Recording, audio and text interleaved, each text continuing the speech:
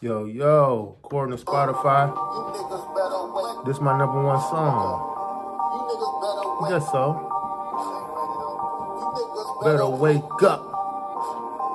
I think it's time to wake up. Let's get it. It's time. We've been sleeping for too long. Think it's time to wake up. Uh. Listen. So much going on in the world. You kidnapping little girls. And I don't know what to do. I'm turning on the news. All I get is blues and I don't know. Uh. Yo, yo, yo. Welcome to another episode of Red Lights Don't Exist. They don't. They're not there. It's in your head. but welcome, y'all. I'm back. I'm feeling good. I'm recovered.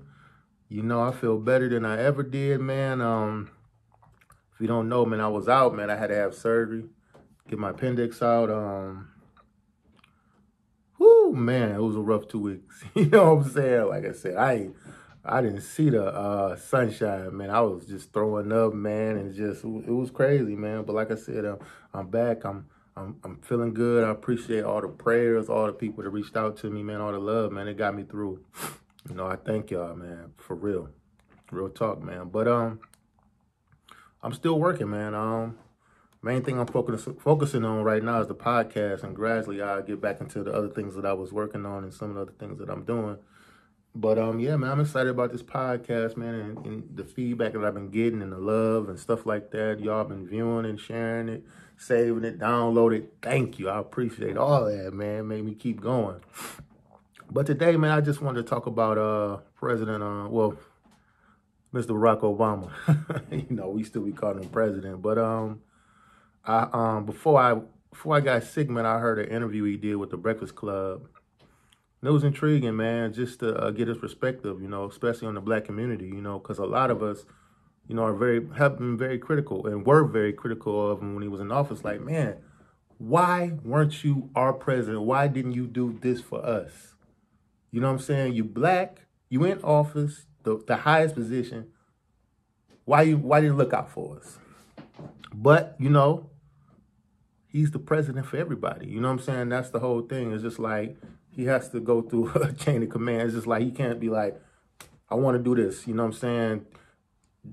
Send this lump sum of money to this community or whatever. It's just like he can't really just do that without going through, you know what I'm saying, different, you know, um, channels or whatever. But uh, I think that the people that's in your local community, you know, that's their job.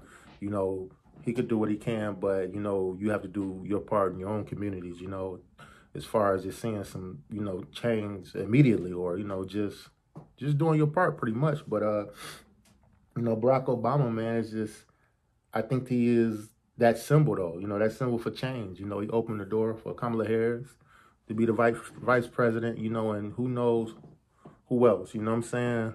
But like we needed him to, you know, get in there to open the door for the next person. Cause you know, before him, it was white, white, white, white, white, white, old, white, old, old, old, old, old, old, white, white, white. I mean, it's just like we needed that change, man, and he he definitely did that. You know, you know, a lot of people was like, man, you voted for him because he was black. No, that wasn't the only reason, but you got to realize, like I just said, he was that symbol, man. He needed to be in office so you know the world can see that we live in this world that's you know bigger than just you know black and white. It's it's, it's very diverse. It's so many different colors. You know, it's it's a rainbow of colors, man. You know, and there's so many different people that come from different backgrounds, and I think that him being in office kind of represented that. You know what I'm saying? It's like nah, all them old you know white politics is done now. We just we, we're moving forward. You know, I feel like if he just did that, you know, it's not completely enough, but it's enough for me because the next person is going to take it to the next level. You know, the next president, the next person that comes in, comes in office. You know, he may not did, uh, he may not have the opportunity to do everything, but it's just like it's it's a it's a process. You know what I'm saying? Like it'll get better over time. You know, and I believe that, and that's how, that's just my philosophy on life. You know, um, but I got a lot of respect for um President. Well. We always call him president, you know. We still think he's president, but Mr. Barack Obama. Um, I remember I lived in uh Chicago, man. And during 2008, that energy, man, it was dope, man. And I lived in Hyde Park. You know, I worked at this place. I think it was was it 53rd and Kimbark.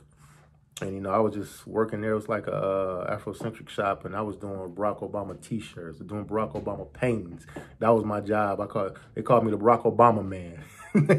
I was just playing, but yeah, man, it just was you know good energy, man. Barack, you could see him everywhere, man. He was he was a hero, man.